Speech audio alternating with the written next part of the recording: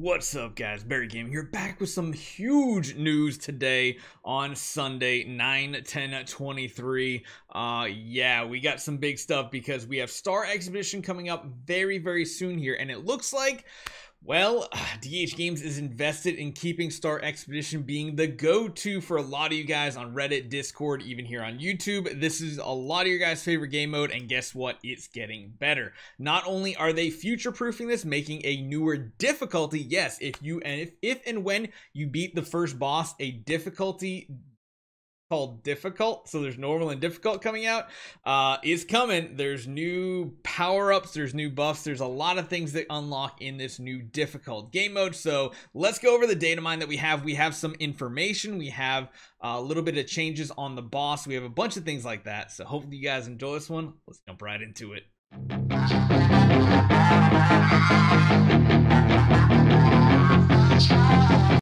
so let's start off with some icons and image files we have from this uh, data mine that we have. It looks like the first thing that we see here is this is going to be the icon for the normal difficulty. This is going to be the icon for unlocking the difficult difficulty. Now, there's a little bit of a question here based on how it's kind of written in the coding and everything. We don't know necessarily if you have to beat the old void boss, like, you know, the big abyss of catastrophe, or if it's just meaning you need to clear all the islands. Because you see here, there's two different difficulties. And in the files, there's new image files that have this blue glow around them. These are still the same exact uh, islands that we've basically been beating already. Uh, it's just now with a blue aura around them. So we're thinking what it needs to happen is there's a couple things that need to be cleared in order to unlock this difficult game mode. Uh, so it seems like to get through these guys or get them unlocked, there's a couple things you need to get done. Uh, number one is it says after winning all battles in a zone and killing the Lord of the Void in that zone, uh, you'll be awarded a perfect passage, which allows you to unlock a new mode. Now, I don't know if that means when they say Lord of the Raid, if they mean, or Lord of the Void, if it means, you know how each one of these islands has a boss at the end of them, like every single one of them does that you have to beat, that unlocks the next one. Don't know if that means number one that we have to kill every node as a perfect passage, or if it just means clearing the zone will get that unlocked for you because it also says um as far as star imprints now, you're just gonna automatically have star imprints put into your nodes, you can set up presets and preferences for them to put like cause or osis in there for you, but it's going to start automatically allocating them as you acquire them. So you don't have to like, if you need the power, you don't have to jump out and do that. But it does seem like moving to a new area will stop all ongoing clearing and the progress in the challenge will be reset. Um, moving to new zones or changing the difficulty will stop the clearing and progress. Uh, they've added the word raid to the descriptions as well. So this is really, really confusing as far as how these things unlock. But we do know there is a new boss for this difficulty mode as well. You'll notice he looks a little bit different. The one that you normally see is mostly pink and purple. This one has a lot of blue hues and yellow especially highlighted on them, which is interesting. Uh, because they get more skills. They have a new normal attack, which I think kind of translates to Abyss Whip. There is a new active skill called Impending Roar. There's a passive skill called uh, Decomposing Touch, and a new passive skill, Void of Invasion. There are, of course, new images for the tentacles as well, which is interesting. Uh, so we're going to have to see how that plays out. And there's a couple of things that I thought were of note. So uh the bosses like tentacles and stuff have some abilities that are a little annoying. They do target ones that hit like they go for like the lowest hp targets. They put bleeds on them. Uh there's another one that says a uh, curse of decay on them which says triggers when the enemy receives a buff. Once triggered, each layer of Curse of Decay absorbs one attribute. So it's essentially the four Phorcys account or Phorcys. It's the Phorcys ability, which is just really, really annoying. Uh, and they do put a ton of bleed with a chance to fear and silence.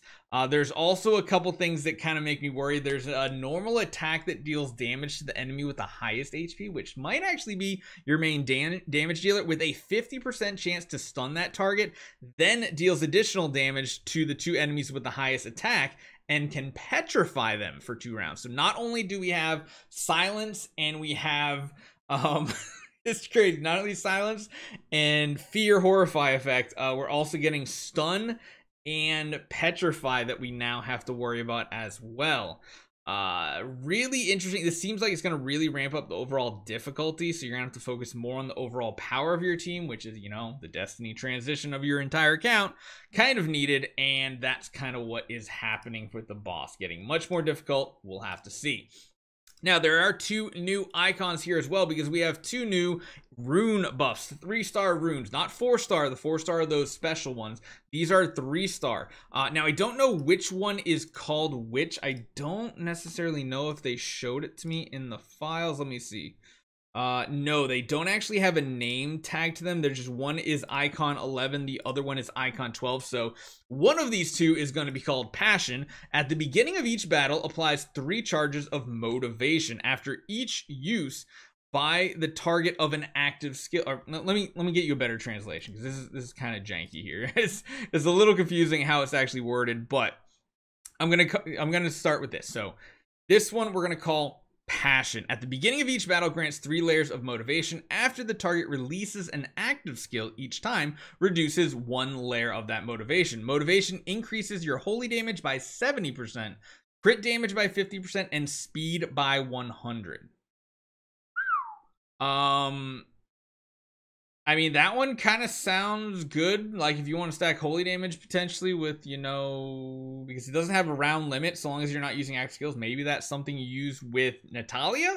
I don't know. And then the other one here, we'll just go to the other icon. It's called Obsession. When an ally's HP is below 30% for the first time each battle, you gain uh, the enabling Unbending Will and restores HP by 100% and increases attack by 50% for six rounds, which is interesting there also sounds like there is some sort of potentially new guild tech for Star Expedition, although we can't really find a ton of information on that either.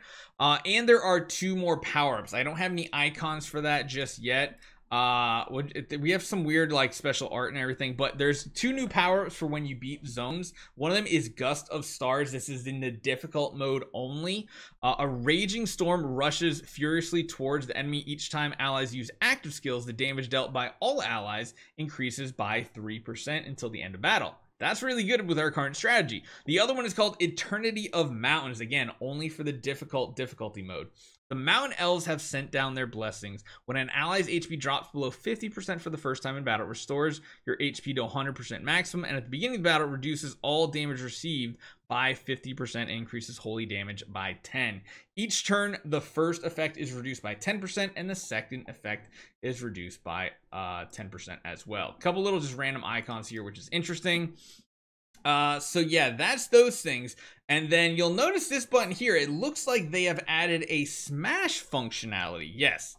Uh, uh, yeah, this this interesting because this right here means the normal mode you can just smash from now on potentially if you don't care about doing this game mode. So a lot of good things for people who love going deep diving into this game mode. A smash function for everybody else, and we'll just have to see how this actually plays out. So hopefully you guys enjoy this one. See you guys next time with more info. Hopefully.